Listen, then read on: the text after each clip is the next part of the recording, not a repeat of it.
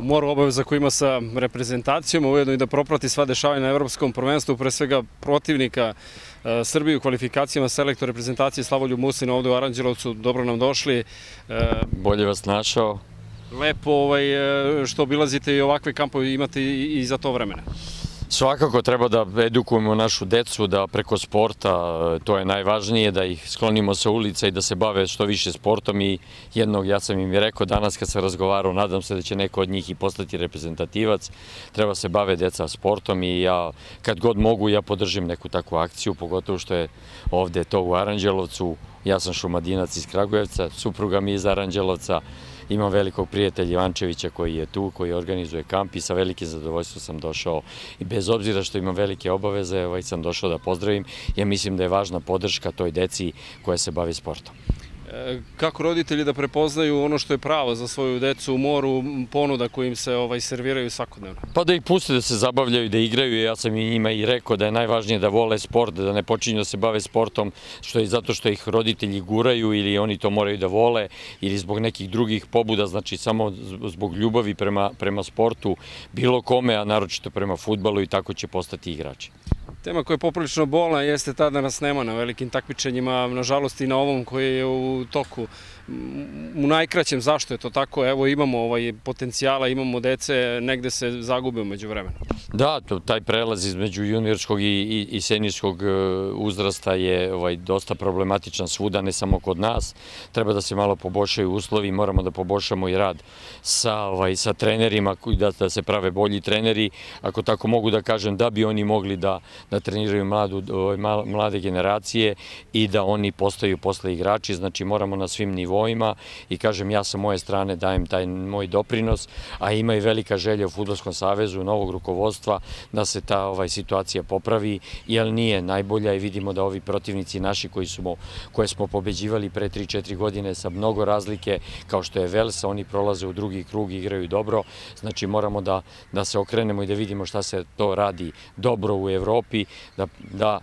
adaptiramo na naš E, kako na naš mentalitet igrača i naše uslove ovde u Srbiji i da počnemo da radimo najozbiljnije. Znam da ćete sa vašim saradnicima uraditi analizu i već ste sigurno uradili e, zašto nas nema na tako velikim takmičenjima. Kažu da imamo ovaj odlična imena, vi to najbolje znate i da, ovaj, je to tačno i po vama šta, šta to škripi? Pa imamo dosta imena i dobrih imena, imamo igrače koji igraju i koji su već konfirmisani, ali imamo dosta mladih igrača koji ne igraju, odlaze mnogo rano u inostranstvo, ne igraju ovde kod nas, ne stiču neko ovaj, internacionalno iskustvo i onda kad odu u te klubove velike, ovaj, nemaju mnogo šansi da igraju jer još nisu gotovi igrači, prodajemo ih kao talente i oni se mnogo tih igrača se gubi, znači moramo da pokušamo, iako znam da je problem uh, sa, sa financijama u našim klubovima, da moraju da prodaju igrače, ali da pokušamo da zadržimo te igrače malo duže u, u Srbiji, da igraju u našem prvenstvu, samim tim bi digli uh, nivo futbala u našem, uh, u našem prvenstvu. I s druge strane prodavali bi gotove igrače i oni se manje bi, više bi njih prošlo i više bi igrali i onda ovaj, bi imali igrače za reprezentaciju. Kako futbol se igra na evropskom prvenstvu po vama, koliko pratite? Pa pratim sve i bio sam i u Francuskoj, gledao nekoliko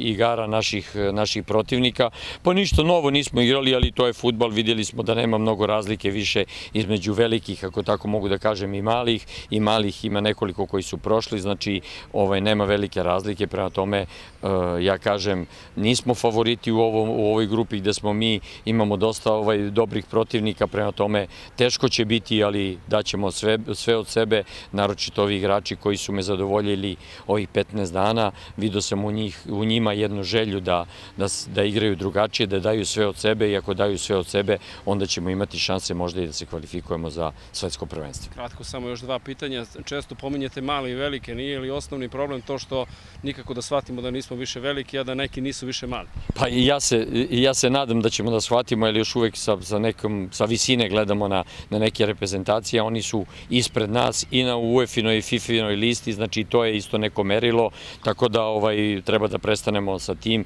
treba realno da gledamo u, u oči problemima i ako sagledamo probleme možemo da napredujemo. Najprijatnije, najnegativnije iznenađenje za vas do sada do Evropskom prvenstvu i vaše prognoze?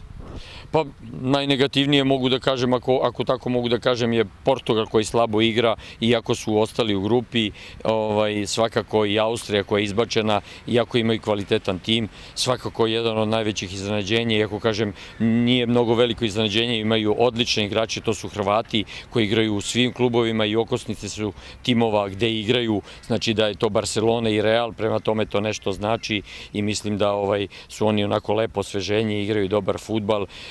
i ovaj, mogu da budu jedni od favorita.